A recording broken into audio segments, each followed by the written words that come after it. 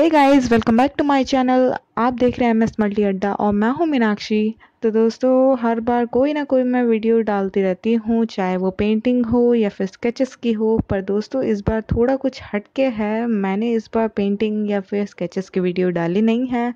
मैं इस बार आपके साथ कुछ इंपॉर्टेंट शेयर करना चाहती हूँ, एक इंपॉर्टेंट वीडियो शेयर करना चाहती हूँ, जो कि कुछ दिनों से मैं देख रही हूँ अपने फेसबुक या फिर इंस्टाग्राम में आ, ये वीडियो को तो मैंने सोचा कि क्यों ना ये आप तक हर युवाओं तक आ, मैं इस वीडियो को शेयर करूँ और उनको भी अलर्ट एक मैसेज एक भेज पाऊँ ताकि वो जितना पैसा खर्च कर रहे हैं सिर्फ़ फॉर्म्स अप्लाई करने के लिए उन वो बहुत ही सोच समझ के अप्लाई करें।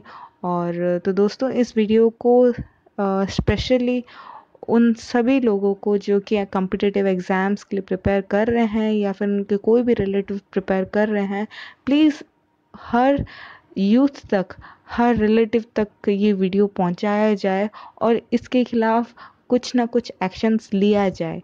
तो दोस्तों, इस वीडियो को स्टार्टिंग से एंड तक ज़रूर देखिएगा और and I am hundred percent sure कि आपको ये वीडियो पसंद आएगा और ये आपको एक अलर्टनेस भी लाएगा। दोस्तों वीडियो देखने से पहले मेरे चैनल को सब्सक्राइब करना ना भूलें और नीचे दिए गए बेल आइकन को भी दबाना ना भूलें ताकि आपको आने वाले वीडियोस की नोटिफिकेशन मिलती रहे। आंकड़े कुछ इस तरीके से है कि आरबी एनटीपीसी का फॉर्म आता है। कब आता है? मैं आपको डेट मेंशन करता हूँ। यह फॉर्म आया था एक मार्च को। 31 मार्च इसकी लास्ट डेट थी भरने की। पैंतीस हज़ार के आसपास वैकेंसी थी।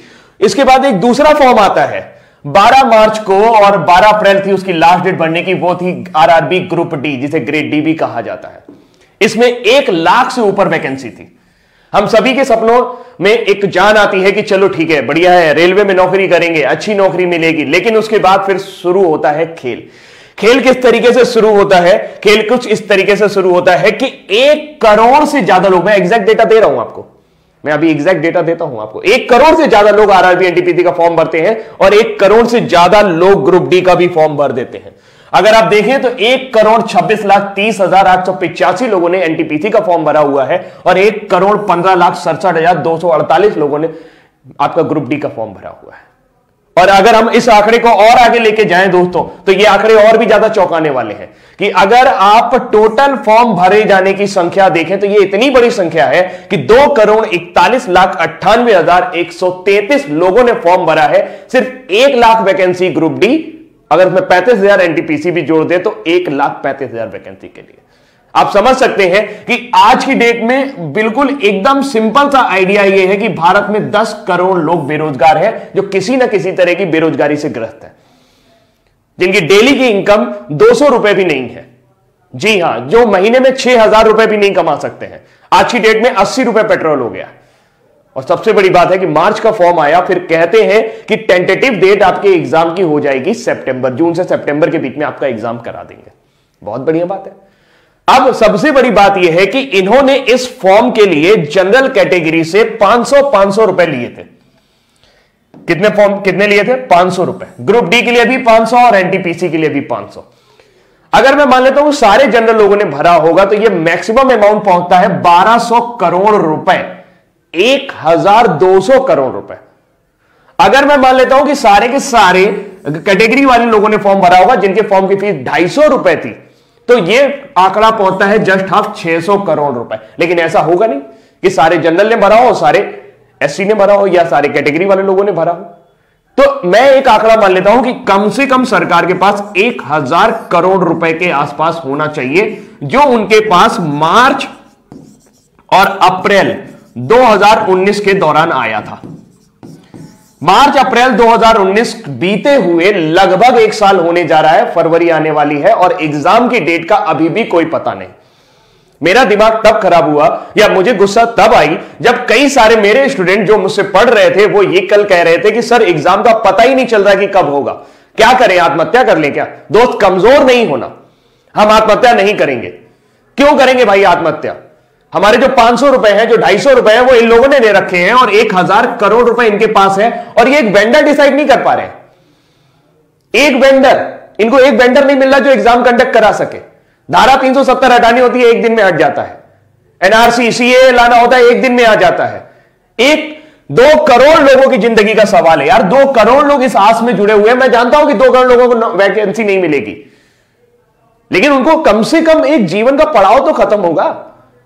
जो दिन भर वो टेंशन में रहते हैं कि तैयारी करनी है, तैयारी करनी है, तैयारी करनी है, दुनिया भर के कोचिंग वाले, दुनिया भर के चैनल वाले सब उनको बेवकूफ़ बनाने की कोशिश कर रहे हैं और लगातार उनसे पैसे ऐट रहे हैं। एक बैच शुरू होता है, फिर दूसरा बैच शुरू होता है, फिर तीसरा बैच शुरू होता है। बैच खत्म होने का नाम नहीं ले रहा है और नौकरी आने के नाम नहीं ले रही। क्या आपकी कोई ज़िम्मेदारी नहीं बनती है? नेताजी, मैं आपसे ही कह रहा हूँ, ये वीडियो इतना शेयर करना कि नेताजी तक पहुँच जाए। क्या आपकी कोई ज़िम्मेदारी नहीं बनती है कि दो करोड़ इकतालीस लाख लोगों के ऊपर आप ध्यान दें?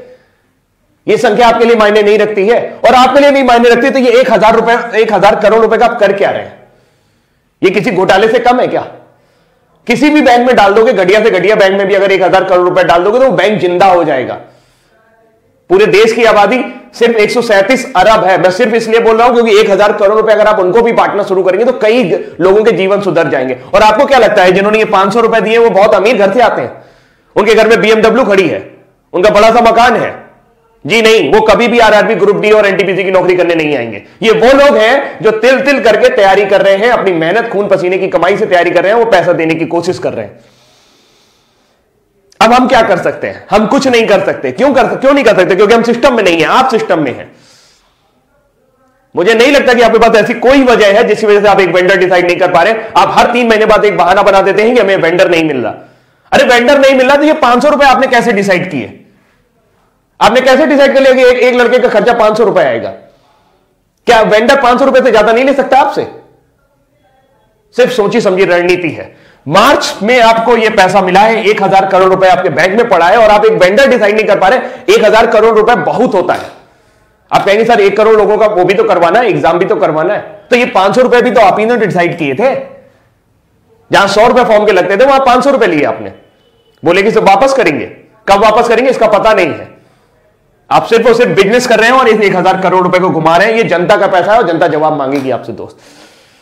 नेताजी, आप भी ध्यान से सुन लीजिए, जो लोग भी ये वीडियो देख रहे हैं, भाई, अगर उनको मेरी बात सही लग रही हो या लग रही हो, मेरी बात सही लग रही हो या लग रही हो, लेकिन बात है सच्ची।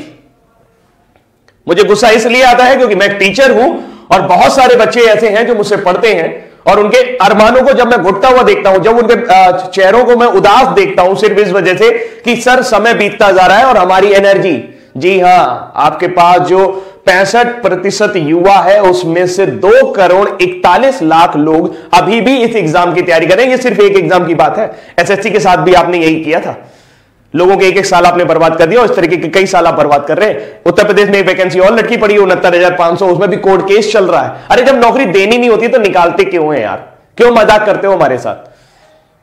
जब देनी नहीं होती तो निकालते क्यों? क्यों मज़ाक करते हो हमारे साथ? हमारा जीवन इस तरीके से एक सपना बुनना शुरू कर देता है कि नौकरी लगेगी नौकरी लगेगी। जिस उम्र में उनकी एनर्जी बढ़नी चाहिए, आपको क्या लगता है कि इतना हतोत्साहित युवक आप लोगे तो आप उससे अच्छा काम करा पाओगे? जो एक साल, दो साल तैयारी करके आया होगा, जिसके लिए नौकरी मिलना, ना मिलना सब बराबर हो चुका होगा। अरे, कोई कोई प्लानिंग ही नहीं है यार। बड़े बड़े आईएएस बैठे हो आप लोग। इतना सारा आईएएस भरा पड़ा है, सब, जिसको देखो वो बहुत ऊँची ऊँची पोस्ट पे, वो लोग बढ़िया गाड़ी से चल रहे हैं, बढ़िया बंगले से घूम रहे हैं, सारा, सब कुछ उनका जीवन सुलभ है। उनको इनकी फ़िक्र नहीं हो रही। किसी को इनकी फ़िक्र नहीं हो रही। दो करोड़ लोग हो माई गॉड इतनी बड़ी जनसंख्या है, दो करोड़, कुछ कहने को नहीं अगर अपने दम पर आ जाएगी ना तो आप परेशान हो जाओगे, आपका सिस्टम मिल जाएगा पूरा। बहुत बुरा है, बहुत बुरा है। भावुक हूँ मैं, बहुत ज़्यादा बुरा है। अभी के लिए इतना ही रखता हूँ, लेकिन उम्मीद करता हूँ कि मैसेज आपको मिल गया होगा, इस वीडियो को इतना ज़्यादा शेयर करिएगा कि सबके पास तक पहुँच जाए। खासकर तो दोस्तों, वीडियो देख के तो आपको आइडिया आ ही चुका होगा। तो दोस्तों, इस वीडियो को जल्द से जल्द शेयर करें और मेरे चैनल को सब्सक्राइब करना ना भूलें। नए वीडियोस के लिए, नए आर्ट एंड क्राफ्ट वीडियोस के लिए, एंड पेंटिंग्स के लिए स्केचेस के लिए। तो Till then, bye bye and keep watching my channel.